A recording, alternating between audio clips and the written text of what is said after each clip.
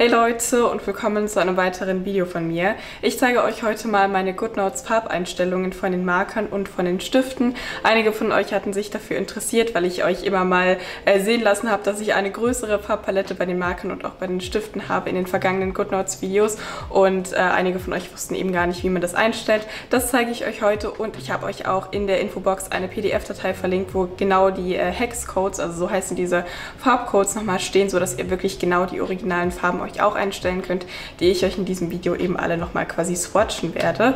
Und ich habe auch wieder ein neues äh, Gewinnspiel laufen. Ich habe mal GoodNotes kontaktiert und gefragt, ob sie vielleicht also GoodNotes Lizenzen, also quasi, dass ihr die App euch kostenlos holen könnt. Normalerweise kostet die ja 10 Euro, ähm, ja, kriegen kann. Und tatsächlich habe ich fünf GoodNotes-Lizenzen bekommen, die ich jetzt quasi an euch verlosen möchte. Und ich möchte das gerne einfach genauso machen wie letztes Mal mit dem äh, Bullet Journal Gewinnspiel. Das hat eigentlich ganz gut funktioniert. Und zwar sind die Teilnahmebedingungen, dass ihr einmal Abonnent meines YouTube-Kanals sein müsst und hier die Glocke abonniert habt.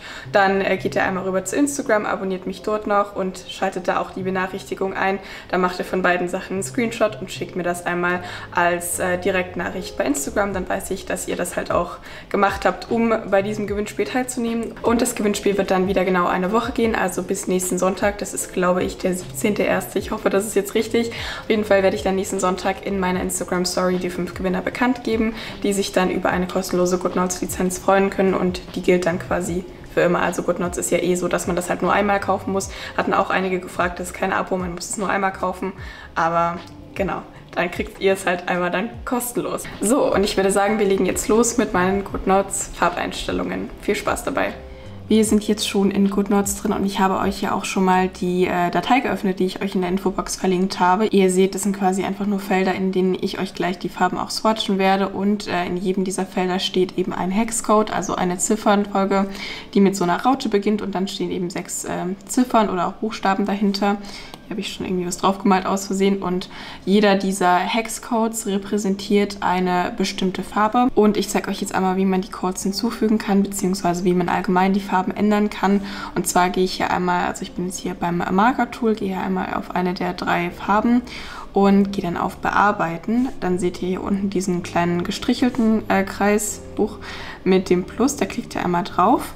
Und dann ähm, könntet ihr halt entweder euch hier irgendeine Farbe auswählen, die dann auch äh, in der Farbpalette quasi gespeichert werde, wäre. Also ihr würdet die dann hier unten sehen.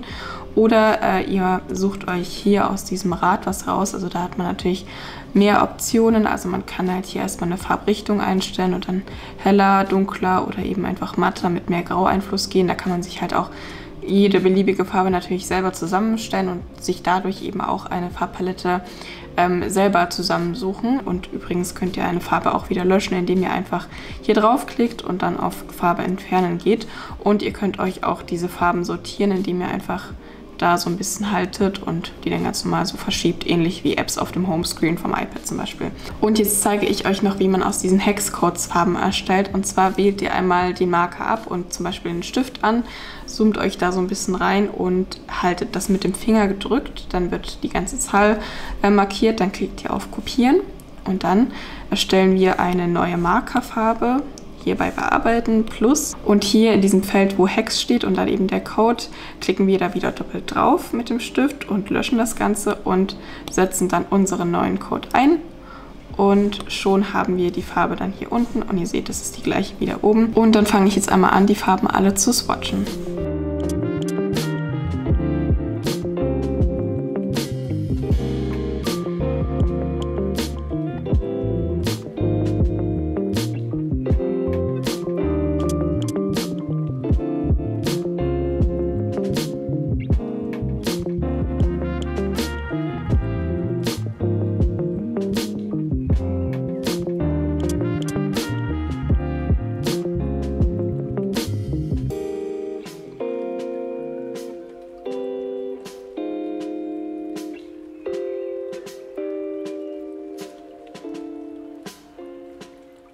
So, das sind jetzt erstmal alle meine Markerfarben. Also ihr seht hier oben, die Farben sind ein bisschen zurückhaltender, ein bisschen pastelliger und teilweise sind da auch so Nude-Töne dabei, finde ich aber auch sehr süß und ich denke, dass man da auch auf jeden Fall schöne Sachen damit ähm, ja, zaubern kann, sage ich jetzt mal. Also auch schön Lernblätter damit verzieren kann oder was auch immer ihr eben in GoodNotes damit machen wollt. Ähm, und hier unten habe ich aber auch darauf geachtet, noch ein paar, sage ich mal, auffälligere Farben dabei zu haben. Also ihr müsst wissen, klar, durch das Marker-Tool sind die Farben natürlich immer ein bisschen pastellig, weil ähm, der Marker ja auch dazu da ist, quasi eher im Hintergrund zu liegen und nicht so sehr nach vorne zu springen. Aber ähm, die Farben hier unten leuchten ja schon ein bisschen mehr als die hier oben. Und hier unten habe ich auch nochmal so ein bisschen darauf geachtet, dass ich so eine ja, regenbogenmäßige Farbabstufung mit reinkriege. Ich glaube, ich werde euch auch diese ausgefüllte Tabelle in der Infobox verlinken, sodass ihr auch jeweils seht, welche Farben das sind, falls ihr eben nur ausgewählte Farben äh, kopieren wollt. Und jetzt gehen wir mal noch runter zu den Füllerfarben. Die swatche ich euch auch gleich. Ich wollte euch nur kurz zeigen, welche ich da hier aktuell habe. Also ich habe hier oben quasi die Default Grauabstufungen noch drin und dann ähm, was in die rosa Richtung, also Abstufungen von rosa, Abstufungen von orange, von gelb, äh, von grün und von so einem Petrolblau. Und die swatche ich euch jetzt kurz und erkläre dann nochmal was dazu.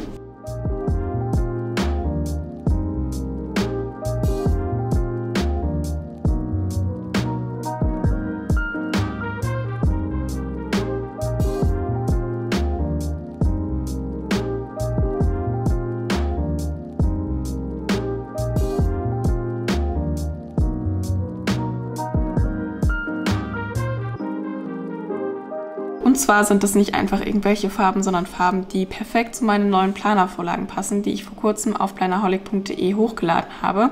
Ich setze euch dazu den Link nochmal in die Infobox und ihr seht, das sind fünf verschiedene Planervorlagen in den Farben, die ich euch eben halt hier gerade geswatcht habe. Und da könnt ihr euch einen aussuchen oder auch mehrere, aber ich denke, da ist auf jeden Fall für jeden Geschmack was dabei. Und wie gesagt, das sind genau die Farben, die ich eben auch bei der Erstellung dieser Pläne verwendet habe. Wenn ihr zum Beispiel den blauen bearbeiten wollt, dann könnt ihr jetzt hier mit dieser blauen Reihe hier zum Beispiel was hinschreiben, also beispielsweise Sport und ihr seht, das ist genau die gleiche Farbe wie ähm, ja, hier diese Schrift. Dann entspricht die zweite Farbe hier eben genau der nächstdunkelsten Farbe. Also ihr könnt zum Beispiel dann hier auch noch was schreiben, ähm, zum Beispiel einkaufen und das wäre dann eben einfach farblich super passend.